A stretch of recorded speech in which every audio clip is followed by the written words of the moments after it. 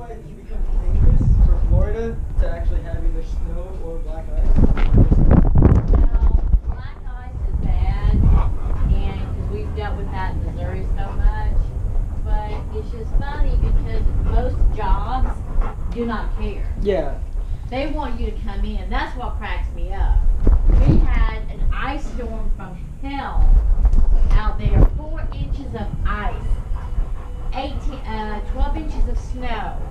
And when you called in, they want to know where you live. Because if you live in the, in the city, they expect you to show up. You know what? Just because you live in the city, some of those roads were not passable. Get it? So, yeah. Come on, up.